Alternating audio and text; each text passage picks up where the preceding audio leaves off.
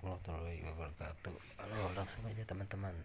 Kita bahas masalah motor spin. Nah di sini ada wiring diagram ya. Ada gambar mesin sama kabel warna merah red. Nih kabelnya. Sekarang warna green. Green hijau. Hijau itu berarti starting menurut gambar sekarang blue blue itu biru dia langsung ke stop kotak gitu. Nah sekarang untuk lebih memudahkan saya akan gambar ulang diagram yang tadi ada di mesin. Kita gambar ulang untuk memudahkan kita menjelaskan koneksi sambil praktek gitu bro. Oke mesin saya gambarkan ini tiga kabel. Nah ini gambar kapasitor teman-teman. Kalau ada tanda gitu berarti kapasitor teman-teman. Saya tulis kapasitor. Oke nah ini ini ada dua ya. Ini masuk power. Nah di sana tertuliskan red berhubung kita orang Indonesia kita ganti warna merah hijau dan biru. Oke nah ini. Ini kita lihat. Nah, ada red green dan blue. Oke. Red merah hijau dan biru. Nah ini kapasitor teman-teman. Yang saya pakai kan hanya kapasitor pengeringnya. Kapasitor itu untuk mesin pencuci atau spin biasanya mulai dari 4 mikrofarad sampai 8 ya kira-kira teman-teman. Sampai 8 mikro. Dan jangan lupa itu portnya yang harus dipakai untuk mesin cuci eh, yang 300an sampai 400 sampai 450 volt. Ya, bukan 220 volt ya bukan ya. Karena ini buat mesin pencuci atau pengering nah ini. Ini, ini spesialis buat mesin cuci. Nah, 4 dan 8 running kapasitor namanya running kapasitor bukan starting. Oke. Nah ini biru.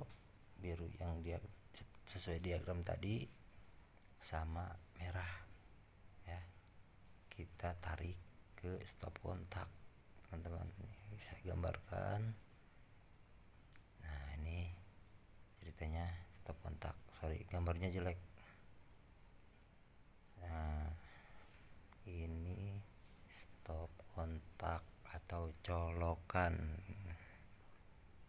Oke. Untuk memudahkan teman-teman aja gambar ulang aja. Oke. Nah ini dia colokannya. Nah yang merah sama biru. Oke. saya jelasin lagi. Hmm, itu gimana? Nah ini biru dia itu netral. Nah, kita masukin langsung ke stop kontak. Dia harus sendiri. Nah, kita unit yang kuat. Nah itu biru sendiri nggak boleh dicampur-campur oke? okay? kita isolasi yang rapi lekatkan kedua lemnya lilit lilit lilit. Oke kita lipat ujungnya lilit kembali ke bawah. Oke. Nah. Lalu kita lari ke merah. Merah itu bisa disebut running kapasitor oke teman-teman running kapasitor running kapasitor itu kita masukkan ke merah. Yang dari mesin masuk kapasitor satu ya kapasitor itu bolak-balik bebas. Masuk kapasitor tahan dulu. Nah, yang satunya nah ini masuk kapasitor nih. Ya hmm, ini masuk kapasitor ya. Nah satunya nya berarti masuk ke stop kontak hmm, masuk stop kontak satu kapasitor satu yang running itu yang merah. Sesuaikan diagram aja. Oke. Masuk. Nah dikit. Nah siap. Oke sekarang hijau ini hijau ke mana nih sendiri nih? Di gambarnya hijau itu sendiri. Nah hijau ini hijau itu kan starting teman-teman. Starting itu sendiri ke kapasitor. Nah, hijau ini yang dari mesin masukin ke kapasitor sendiri. Nggak boleh tercampur. Oke kita sambungin.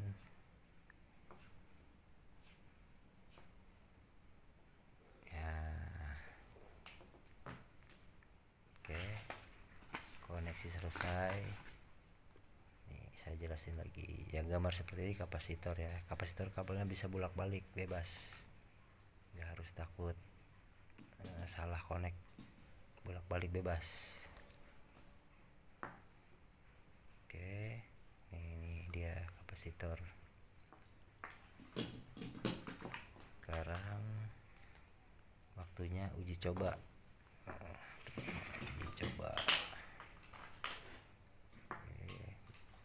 kenapa saya pegang dengan tang karena itu startnya lumayan kencang. Bantingannya. Oke dan jos kan? Jos kan? Ya. Sekarang kita coba lagi. Oke. Coba lagi pakai biar ada tanda ya. Biar ada tanda itu putaran saya pakai kertas aja deh. Kita taruh di rotornya. Biar terlihat bahwa itu berputar gitu. oke. Kita coba lagi. Nah jelas kan oke oke nah oke siap mantap nah ini timer spin nih. Timer spin itu ada dua kabel. Dua kabel dia fungsinya pemutus aja. Pas kita putar dia ngabisin waktu sesuai yang kita inginkan. Nah, kita hubungkan di netral ya yang sendiri ke stop kontak. Nih dia nih. Ya yang biru sendiri ke stop kontak kita putus. Kita putus berhubung pakai timer saya rubah gambarnya dengan platina. Yang menggambarkan itu bisa nyambung bisa putus. Atau dengan kata lain itu gambar timer ya teman-teman ya. Nah, nah koneksi ini timer spin atau pengering. Oke nah seperti ini. Bisa putus bisa nyambung itu. Bisa sebut uh, diagramnya timer dalamnya. Oke kita putus. Yang netral biru itu yang langsung ke stop kontak putus. Oke ini putus aja. Ya gitu. Kita masukin timer dua-duanya. Ini timer ini bisa bolak balik jangan salah takut salah connect juga dia bolak-balik cuma hanya pemutus. Nggak bakal bermasalah kalau dibolak-balik oke kita koneksi isolasi biar aman safety. Kan lumayan kalau kecium listrik. Nah oke. Satunya connect lagi biar bisa terputus di timer apabila waktu sudah habis lilit yang kencang oke salasi biar aman. Nah, nah siap siap ya. Udah ready udah ready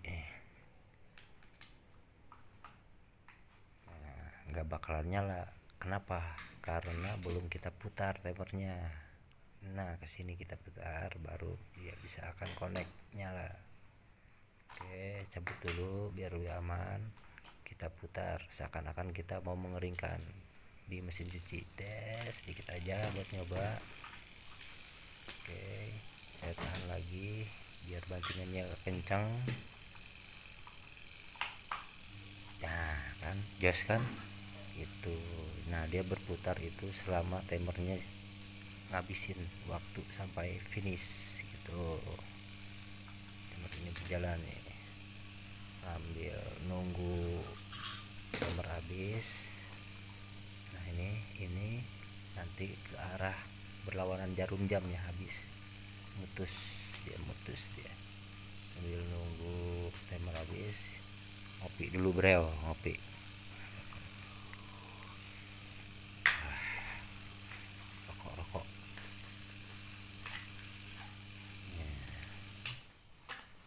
kan?